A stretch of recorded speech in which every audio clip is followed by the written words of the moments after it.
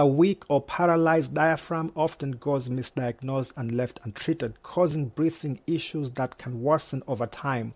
While there are several medical treatments options, surgery remains the most effective way to treat a paralyzed or weakened diaphragm. The diaphragm is a large muscle that sits below the lungs and heart. The diaphragm is important as it is the primary muscle that facilitates breathing. When the diaphragm contracts, it becomes smaller, causing the lungs to expand in the chest cavity and allowing air to move into the lungs. When it relaxes, it enlarges, causing a decrease in lung size, thus forcing air out. The diaphragm is controlled by the phrenic nerve, a nerve that is attached to the cervical spine, the area of the spinal cord found in your neck. A paralyzed diaphragm is rarely caused by an injury to the diaphragm itself, but rather by an injury to the phrenic nerve or cervical spine.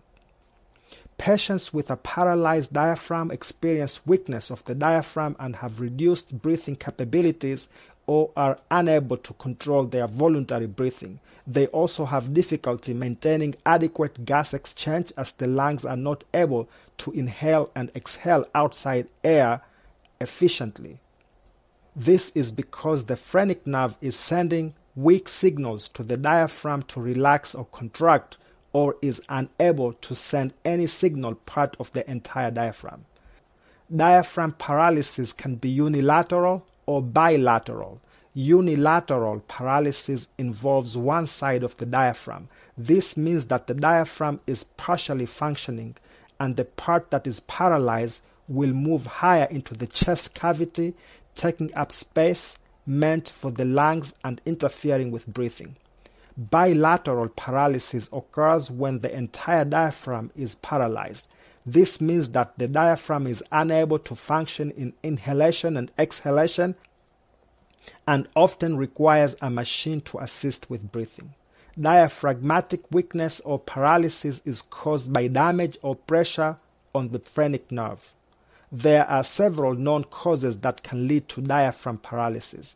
Birth defects such as congenital, central, hypoventilation syndrome, disease of the nervous system such as amyotrophic lateral sclerosis or multiple sclerosis, injury such as an upper cervical spinal cord injury that has spared the phrenic nerve, phrenic nerve fraying or damaging following cardiothoracic or pulmonary surgery, cervical spine arthritis, cancer that has spread and compressed the phrenic nerve, while the cause can be identified in some cases, as many as 40 to 50% of paralyzed diaphragms are idiopathic, meaning the cause is unknown.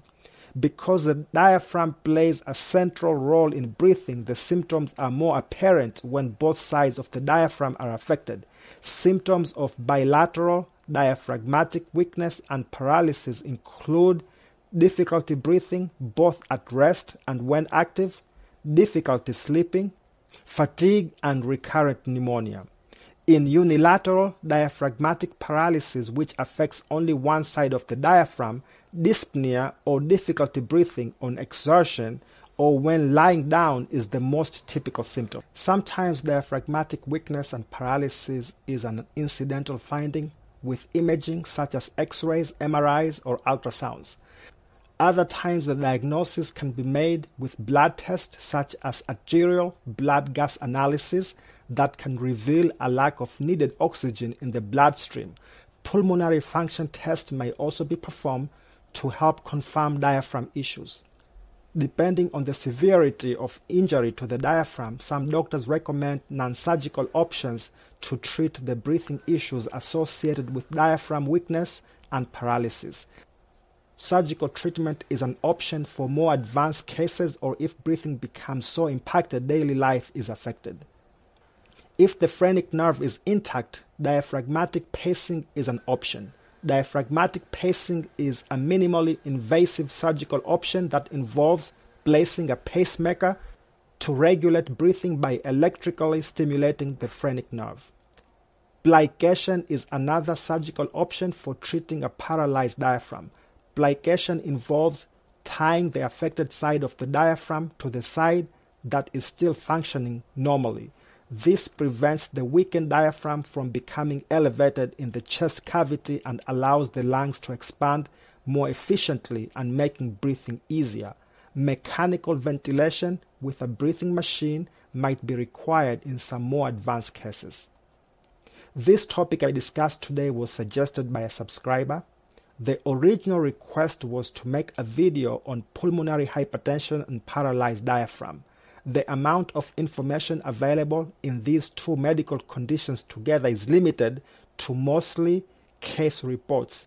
I know that having one is a risk factor for the other, but at this time I'm not prepared to discuss them together.